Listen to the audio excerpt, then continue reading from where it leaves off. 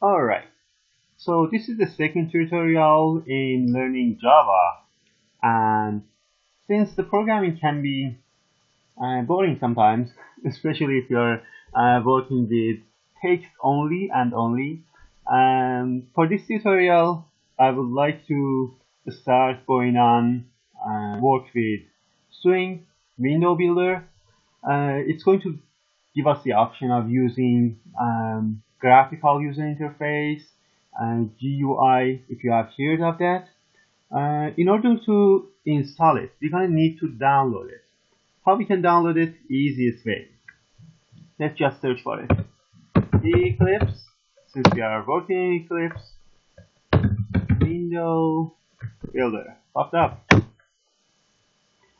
Not the first link, the second link. I'm going to put the link also in the video so it's going to be easier.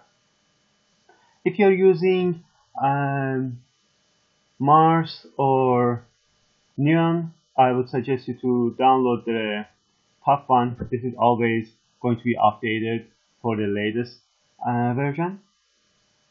Right click on the link copy the link address and let's open Eclipse go to help install new software.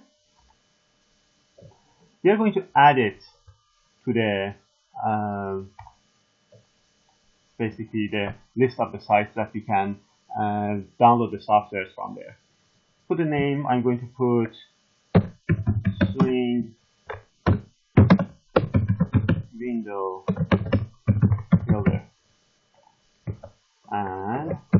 here's the address just pasting over here.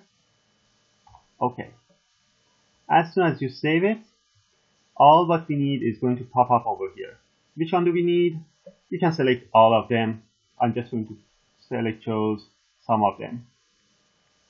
Uh, Swing Designer is the one that I'm choosing.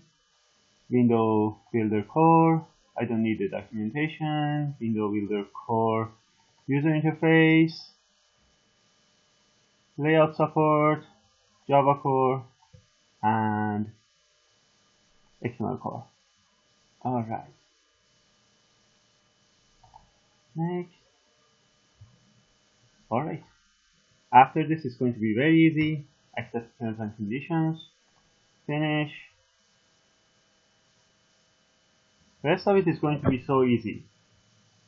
It's going to take a while to download on the next tutorials we are going to talk about how to use swing how we can build simple easy programs in swing um, we start from there. We're gonna go further. If you have any suggestion any program you would like to uh, be started in our tutorials leave a comment. Thanks again. You guys have an awesome day